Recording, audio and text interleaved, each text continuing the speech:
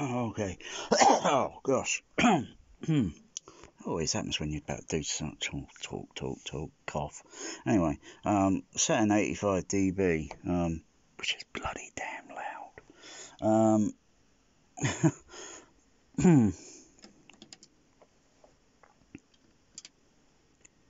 so, few ways I would go about make it 85 and not harsh and you know where it's going to be um, too too too bad, bloody loud, but still damn loud, you know. And uh, even still, uh, you know, in days of projection, um, you know, movies were never often played at um, 85 dB or, or 7 on the fader, you know. you know, 7 on the fader or uh, 0 you know. um, so I want roughly uh, 20 dB pink noise there, and then I have to then, oh gosh, adjust it. Bullshit to um, bullshit. I mean, bloody hell, really. Um, okay, so if I turn on the pink noise, it's going to be pretty loudish.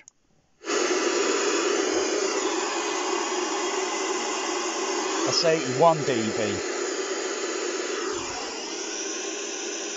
And that's just bloody damn loud, if you know what I mean. Because it's pretty damn loud to uh, talk over the bloody. Get my meaning? that's just 81 dB. um, 81 dBc. Um, I didn't check dBA. Um, put it dBA.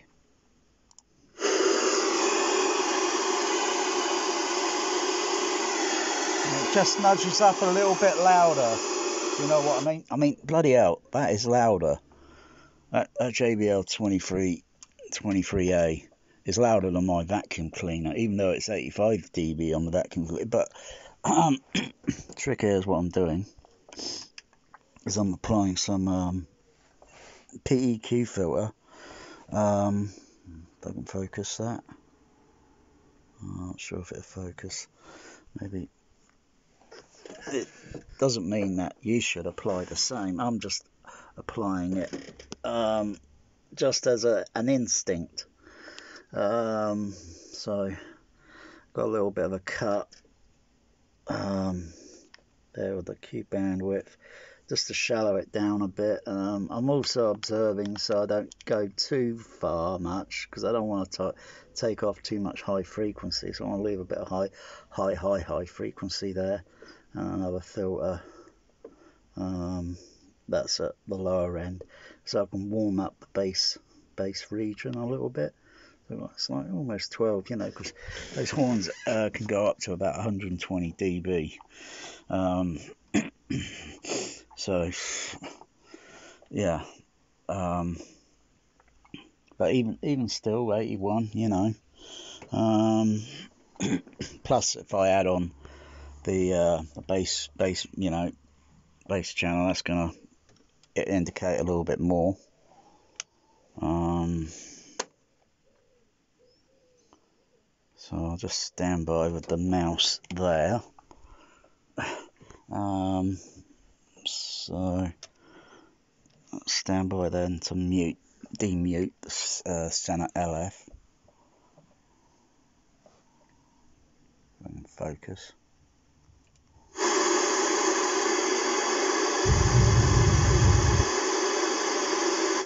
So bit bit too much there, I think. Um, but that might need a little bit more adjusting. Um, that might need a little bit more adjusting, but um, will see how it plays on a mono movie, on a mono soundtrack mix.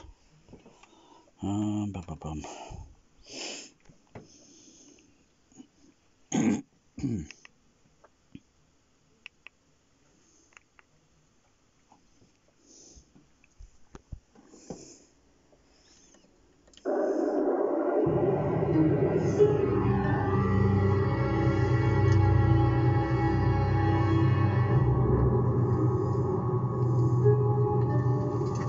and of course the, the mix itself might be a little bit harsh might be a little bit harsh and might say tame it down a little bit on some you know. So it's like having uh, an EQ to do the EQ for the speakers and have another EQ that's secondary. Um, see if I'm turning it down on the faders you know what I mean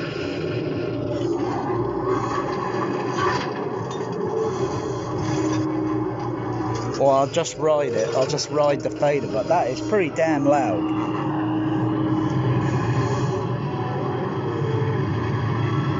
And that is a mono movie. That's a mono. Bloody hell. You know? I mean, I already have tinnitus. So I don't need to add add more to, you know, add more to it. Not that I don't think I could, because I don't think I'll be exceeding um, 120 dB levels, um, which are just uh, plain stupid. But um,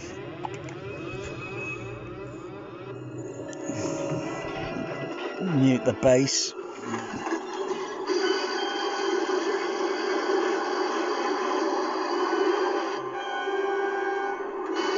It's not like I can't understand dialogue. So most dialogue will be heard, or vo- vocals, dialogue, speech will be heard through the HF HF horn.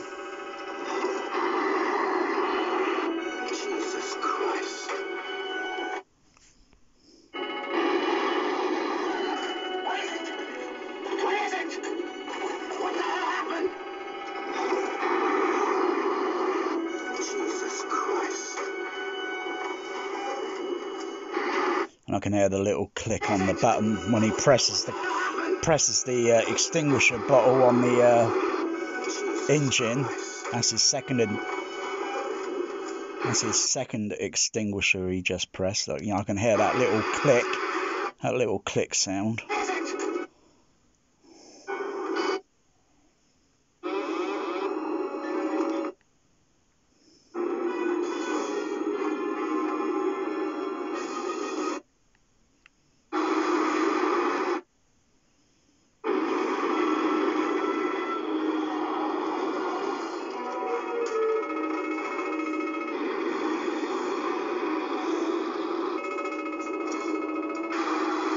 Hear the little pulling pulling on it and then extinct and then pressing the extinguisher button. Um, so yeah that generally gives you an idea. And you might want to sort of like have a secondary EQ but then um, I don't think you can use for those that just use these AVRs and just use the Audyssey, you know, and think that's good enough, and then still you find it still a little bit too loud, little, um, a little bit too loud, a little bit too harsh. Um, you can't use the, uh, you cannot use the other EQ on it, which is. Um, when you go into I think it's audio setting and you go down to graphic EQ that cannot be engaged I don't think because the Audyssey up here will totally override it. So it's not like um, you can use a the basic uh, EQ there. That's only on two channel at the moment um, because the AVR setting it's on. Uh, otherwise that goes up to you know and these uh, EQ bands are not third octave, they're uh, one half octave. So that meaning um, the Q bandwidth is going to be a little bit wider. So if you were to lower one kilohertz, it would lower um, the neighboring frequencies uh, slightly below it and slightly above it. And it's very easy for me to observe that on the um, RTA analyzer and then adjusting it and seeing, yeah, that's that's a one that's a, a one half octave EQ. Um, I think it's pretty actually cheap of these manufacturers putting in half octave EQ. Really, why why why didn't they just put third octave in with say high pass, low pass filters and um, band pass filtering and such, like like what you get on a, a Behringer um, DEQ. I mean, all this is software. is is on a microprocessing chip, which you can get in something like that, and all you do is make it bigger and make it more, you know. It's like it's like they, they, they treat the homeowner uh, like like a child. Like they're not going to give us a proper a proper equalizer, proper you know, um,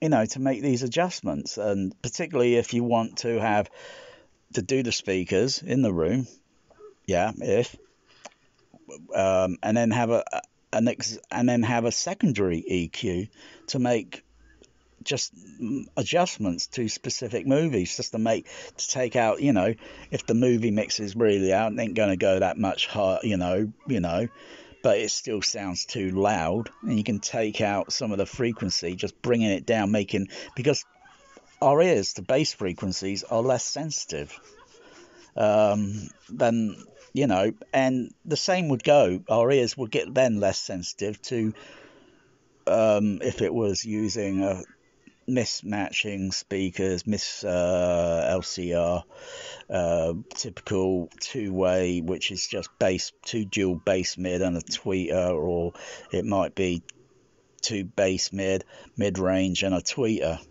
It just depends, and then you just reduce it, or it might be a HF horn, um, whether it be a two way, classic two way, or three way, and then you just reduce this part of the frequency. just does make it less harsh.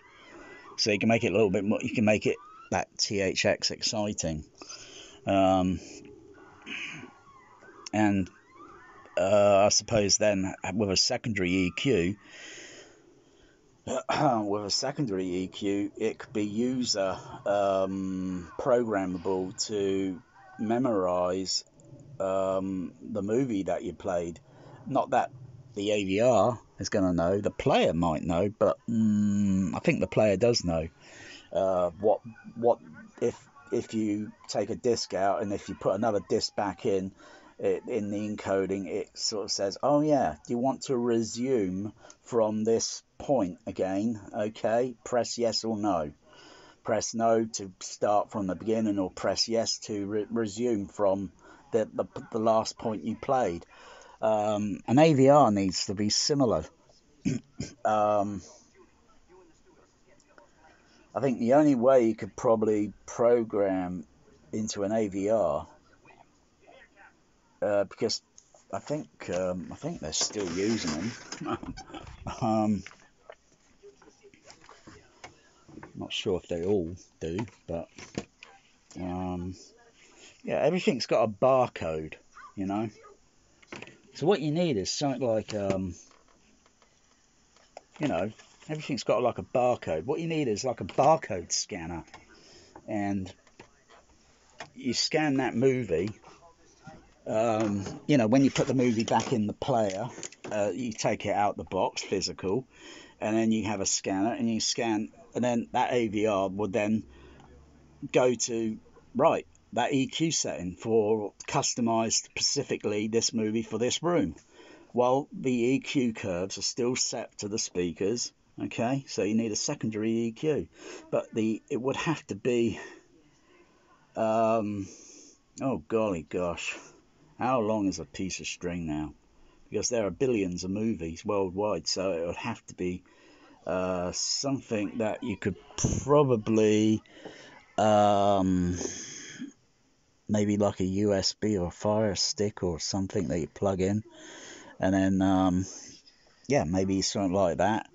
Um, and then the AVR, all, all that EQ setting then for that movie would then get programmed in, and then you can play it, or make addition, additional, or make additional alterations to experiment.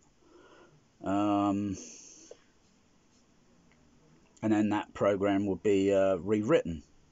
So you rewrite that program to a new EQ setting. for the playback. I think that's what it should be. I think something like that would pretty pretty much work. Um, and and be interesting because if everyone had the an AVR or such that can do that, and you go to another friend's home that's got not maybe the same AVR but the same sort of EQ feature, okay, the same sort of, and you could just plug that and see how that EQ curve settings behave in that other room.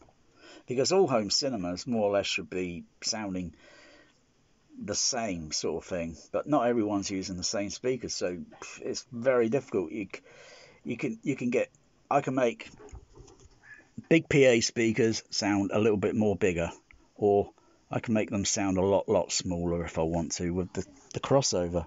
I can make them sound very tiny. Um, you can't make a, a small speaker sound very very large to like a PA speaker size, cinema size. You, you can only you only got a certain limit until where you're going to run into problems with it, and you would run into problems with a large PA if overdone. But you can't really go over too much overdone because usually they just sound bloody loud and clear as a bell, um, crystal clear. Um, but I think something like that would be pretty good feature if that could be um, if that could be implemented. The only other way to implement that sort of idea is to simply have secondary um, outboard equalizers or um, to, to make those adjustments. Um, yeah, yeah, think about it. Think about it.